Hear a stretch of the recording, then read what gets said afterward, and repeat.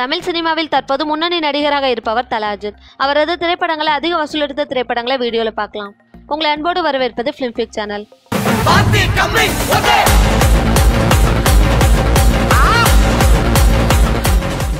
அஜித்தின் அதிக வசூல் எடுத்த திரைப்படங்கள்ல பத்தாவது இடத்துல இருக்க படம் அசல் திரைப்படம்.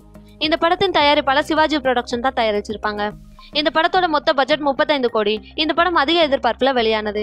ஆனால் உலகம் முழுவதும் அறுபது கோடியை மட்டுமே வசூல் செய்தது. இந்த படம் பிளாப் ஆகிவிட்டது. இந்த லிஸ்ட்ல ஒன்பதாவது இடத்துல இருக்க படம் பில்லா டூ பில்லா திரைப்படத்தின் ஆகப்பெரும் வெற்றியால் இந்த திரைப்படத்தை இயக்கினர். இந்த படத்தோட பட்ஜெட் முப்பத்தைந்து கோடிக்கு மேல எடுக்கப்பட்டது. படம் உலகம் முழுவதும் அறுபத்தெட்டு கோடியை வசூல் செய்தது. பில்லா திரைப்படத்தின் அதிக வெற்றியால் இந்த திரைப்படம் அதிகம் எதிர்பார்க்கப்பட்டது. ஆனால் இந்த படம் பிளாப் ஆகிவிட்டது. இந்த லிஸ்ட்ல எட்டாவது இடத்துல இருக்க படம் பில்லா. விஷ்ணுவர்தன் இயக்கத்துல ரெண்டாயிரத்தி ஏழாம் ஆண்டு வெளியானது இந்த திரைப்படம். இந்த படத்துல அஜித்தோட இணைஞ்சு நயன்தாரா நமிதா என பலரும் நடிச்சிருப்பாங்க. ஆயிரத்தி தொள்ளாயிரத்தி எண்பதாம் ஆண்டு ரஜினிகாந்த் நடிப்புல வெளியான பில்லா திரைப்படத்தின் ரீமேக் தான் இந்த திரைப்படம். இந்த படம் உலகம் முழுவதும் 75 கோடியை வசூல் செய்து சாதனை படைத்துள்ளது. இந்த படம் அஜித் கேரியர்ல பிளாக் பஸ்டர் திரைப்படம். அடுத்து ஏழாவது இடத்துல இருக்க படம் மங்காத்தா. இந்த படம் வெங்கட் பிரபு இயக்கத்தில் யுவன் சங்கர் ராஜா இசையமைச்சிருப்பாரு.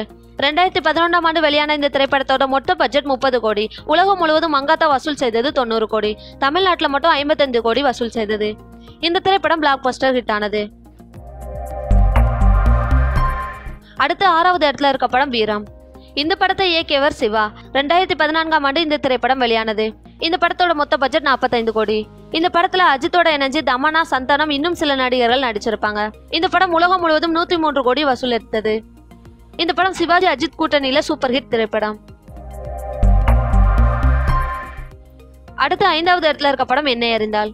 கௌதமேனன் இயக்கத்துல ரெண்டாயிரத்தி பதினைந்தாம் ஆண்டு இந்த திரைப்படம் வெளியானது. இந்த படத்துல தல அஜித்தோட த்ரிஷா அனுஷ்கா விவேக் என பலரும் இணைஞ்சு நடிச்சிருப்பாங்க. இந்த படத்தோட பட்ஜெட் ஐம்பது கோடி. இந்த படம் உலகம் முழுவதும் நூத்தி ஆறு கோடி வசூல் செய்தது. இந்த படம் தமிழ்நாட்டில் மட்டும் அறுபது கோடி வசூல் செய்தது. இந்த படம் சூப்பர் ஹிட் ஆனது.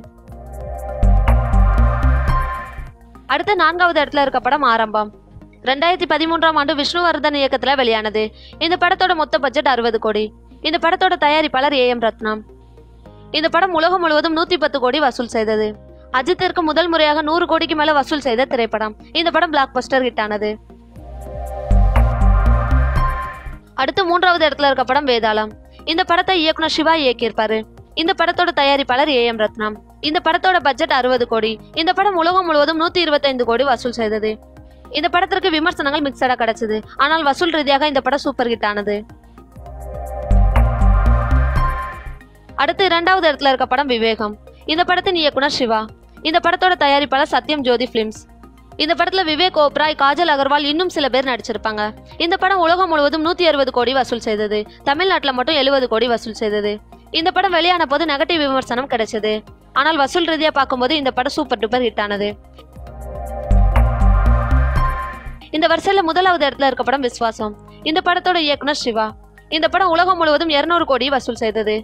தமிழ்நாட்டில் மட்டும் நூத்தி முப்பது கோடி வசூல் செய்தது. இந்த படம் பிளாக் பஸ்டர் ஹிட் ஆனது. இந்த பத்து திரைப்படங்கள் தான் நம்ம தலை அஜித்தின் அதிக வசூல் கொடுத்த திரைப்படங்கள். இந்த செய்திகளை பற்றி உங்க கருத்துக்களை கமெண்ட் பாக்ஸ்ல கமெண்ட் பண்ணுங்க.